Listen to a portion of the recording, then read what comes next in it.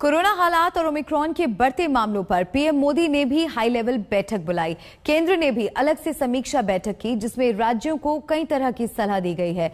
मध्य प्रदेश ने एक कदम आगे बढ़ाते हुए राज्य में नाइट कर्फ्यू लागू कर दिया है।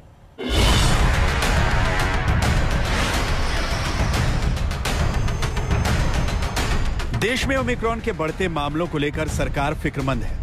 कोरोना के ओमिक्रॉन वेरिएंट की रफ्तार रोकने और डेल्टा वेरिएंट को काबू में करने के लिए प्रधानमंत्री नरेंद्र मोदी ने कोविड पर समीक्षा बैठक की। नया वेरिएंट आने के बाद प्रधानमंत्री की ये दूसरी बड़ी बैठक है। सूत्रों के मुताबिक, मीटिंग में पीएम मोदी ने कोरोना प्रबंधन से जुड़े अधिकारियों से संक्रमण और इससे निपटने की तैयारियों पर जानकारी ली।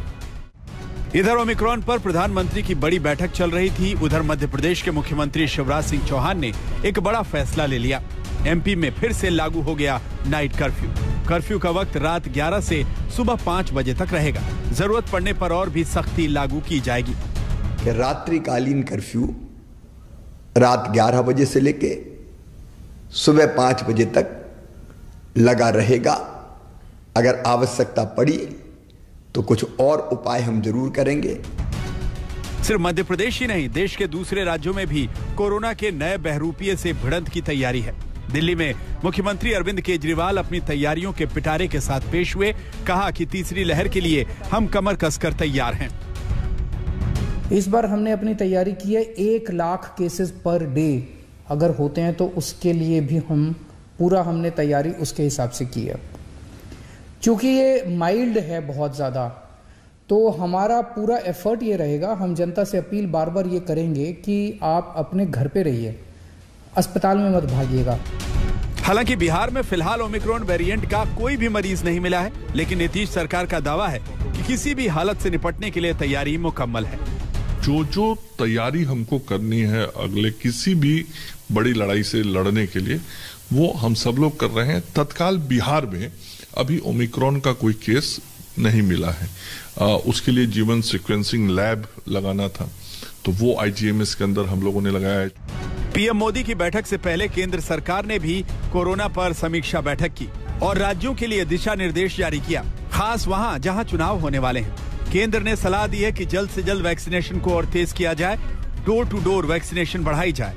त्योहारों के सीज़न से पहले स्थानीय स्तर पर रोक और पाबंदी लगाई जाए। राज्यों को नाइट कर्फ्यू लगाने की नसीहत भी दी गई है। बड़े जमावड़े पर पाबंदी लगाने की सलाह के लिए नए कोविड क्लस्टर बनाने पर कंटेनमेंट जोन और बफर जोन की पहचान की गई है। सरकार तो अपने स्तर पर तैयारी कर रही है, लेकिन साथ ही ज़रूरी ये भी है कि लोग भी अपनी ज़िम्मेदारी को समझें, लापरवाही ना करें, खुद को और अपने आसपास के समाज को सुरक्षित रखें।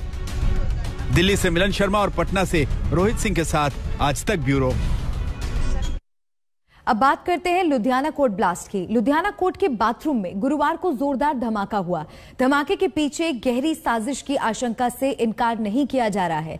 एनआईए और एनएसजी लुधियाना ब्लास्ट की जाँच में सक्रिय हो गई हैं और गृह मंत्री अमित शाह को घटना की पूरी जानकारी दी गई है।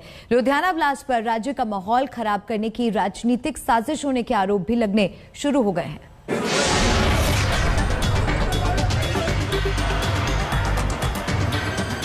किसान आंदोलन के संग्राम में खालिस्तान एंगल के आरोप, गुरु ग्रंथ साहिब की बेअदबी के आरोप, लिंचिंग और अब कोर्ट के बाथरूम में ब्लास्ट। चुनाव से पहले पंजाब के हालात पूरी तरह सामान्य तो नहीं। राज्य की सबसे ज़्यादा आबादी वाले शहर लुधियाना में हुए ब्लास्ट को छोटा मानकर नजरअंदाज नहीं किया जा सकता। केंद्रीय गृह मंत्रालय ने धमाके का संज्ञान लिया है। एनआईए और एनएसजी जाँच में शामिल हो गई।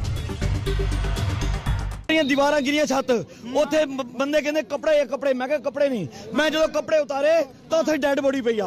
ਹੁਣ ਇਹ ਨਹੀਂ ਪਤਾ, ਦੂਜੀ ਮੰਜ਼ਲ ਦੂਜੀ ਮੰਜ਼ਲ ਬਾਥਰੂਮ ਦੇ ਕੋਲ। ਇਨਵੈਸਟੀਗੇਸ਼ਨ ਚ ਕਿ ਇਹਦਾ ਕਾਰਨ ਨਹੀਂ ਪਤਾ ਲੱਗ ਸਕਿਆ, ਕਿਉਂਕਿ ਇਮੀਡੀਏਟਲੀ ਮੁਸ਼ਕਲ ਹੋ ਜਾਂਦਾ ਕਿ ਕਿਸੇ ਕੰਕਲੂਜਨ ਤੇ ਪਹੁੰਚਣਾ। ਪਰ ਇੱਕ, ਜਿਹੜਾ ਸਸਪੈਕਟ ਹੈ, ਜਿਹੜਾ ਬੰਦਾ, ਜਿਹਦੀ ਬਾਡੀ ਉੱਥੇ ਮਿਲੀ ਹੈ ਉਹਨੂੰ ਆਇਡੈਂਟੀਫਾਈ ਕਰਨ ਦੀ ਕੋਸ਼ਿਸ਼ ਕਰ ਰਹੇ ਹਾਂ ਔਰ ਲੱਗ ਰਿਹਾ ਕਿ ਉਹਦੇ ਕੋਲ ਹੀ ਇੰਪੈਕਟ ਸੀਗਾ ਜਾਂ ਐਕਸਪਲੋਸਿਵ ਦਾ ਜਾਂ ਉਹ ਬਹੁਤ ਨੇੜੇ ਸੀ ਜਾਂ ਉਹ ਕੈਰੀ ਕਰ ਰਿਹਾ ਸੀਗਾ लुधियाना की कोर्ट के बाथरूम में ब्लास्ट के पीछे साजिश की आशंका तो है लेकिन मामला आतंकवाद से जुड़ा है या राजनीति से या फिर दोनों का घालमेल है राज्य के मुख्यमंत्री चरणजीत सिंह चन्नी ब्लास्ट में पूर्व मंत्री विक्रम सिंह मजीठिया के खिलाफ कानून के कसे शिकंजे का कनेक्शन ढूंढ रहे हैं जबकि पंजाब कांग्रेस अध्यक्ष नवजोत सिंह सिद्धू को भी ब्लास्ट में राजनीतिक पेच नजर आता है ਲੁਧਿਆਣੇ 'ਚ ਇੱਕ ਬਲਾਸਟ ਹੋ ਗਿਆ ਹੈ ਇਸੇ ਕਰਕੇ ਮੈਂ ਮੀਟਿੰਗ ਨੂੰ ਛੇਤੀ ਸਮੇਟ ਕੇ ਸਿੱਧਾ ਲੁਧਿਆਣੇ ਜਾ ਰਿਹਾ ਹਾਂ ਮੌਕੇ ਤੇ ਜਾ- ਜਾਇਜ਼ਾ ਲਵਾਂਗਾ ਜਿਵੇਂ ਜਿਵੇਂ ਇਲੈਕਸ਼ਨ ਨੇੜੇ ਆ ਰਿਹਾ ਹੈ ਕੁਝ ਦੇਸ਼ ਵਿਰੋਧੀ ਸੂਬਾ ਵਿਰੋਧੀ ਤਾਕਤਾਂ ਵੱਲੋਂ ਇਸ ਤਰ੍ਹਾਂ ਦੀਆਂ ਘਨਿਆਉਣੀਆਂ ਹਰਕਤਾਂ ਕੀਤੀਆਂ ਜਾ ਰਹੀਆਂ ਉਹਦੇ ਵਾਸਤੇ ਸਰਕਾਰ ਵੀ ਸੁਚੇਤ ਹੈ ਤੇ ਲੋਕਾਂ ਨੂੰ ਵੀ ਸੁਚੇਤ ਰਹਿਣਾ ਚਾਹੀਦਾ ਹੈ। ਇਹ ਜਿਹੜੀ ਜਿਹੜੀ ਬੇਅਦਬੀ ਦੇ ਕੋਸ਼ਿਸ਼ ਕੀਤੀ ਗਈ ਨਹੀਂ ਸਫਲ ਹੋਏ। ਹੁਣ ਇਹ ਬਲਾਸਟ ਕੀਤਾ ਗਿਆ। ਇਹ ਸਾਰੀਆਂ ਚੋਣਾਂ ਦੇ ਮੱਦੇਨਜ਼ਰ ਕੁਝ ਏਜੰਸੀਆਂ ਵੱਲੋਂ ਕੋਸ਼ਿਸ਼ ਕੀਤੀਆਂ ਜਾ ਰਹੀਆਂ। ਕੀਤਾ ਜਾ ਰਿਹਾ ਕਿਤੇ ਪੰਜਾਬ ਦਾ ਮਾਹੌਲ ਖਰਾਬ ਕਰਨ ਦੀ ਤਿਆਰੀ ਹੋਰ ਕੀ ਹੈ ਇਹ? 100 ਮਣ ਦੇ ਉੱਤੇ ਖੱਟਾ ਪਾਉਂਦੇ। ਲੇਕਿਨ ਬੇਕਸੂਰ ਲੋਕਾਂ ਦਾ की कसूर है बई जिस जंग च राजे की जान कोई खतरा ना होनू जंग थोड़ा ना कहें राजनीति कहें उछी राजनीति हो रही है टुची राजनीति हो रही है लोगों की जान बचा जमहूरीयत है है लोगों की जान लेना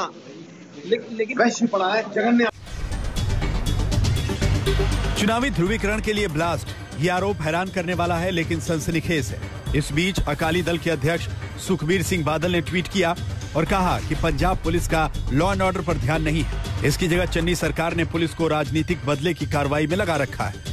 राज्य में खराब हो रहे माहौल को राजनीति से जोड़ने का दाव आपके प्रमुख और दिल्ली के मुख्यमंत्री अरविंद केजरीवाल ने भी चला। है अभी कुछ देर पहले लुधियाना से ब्लास्ट की खबर आई है।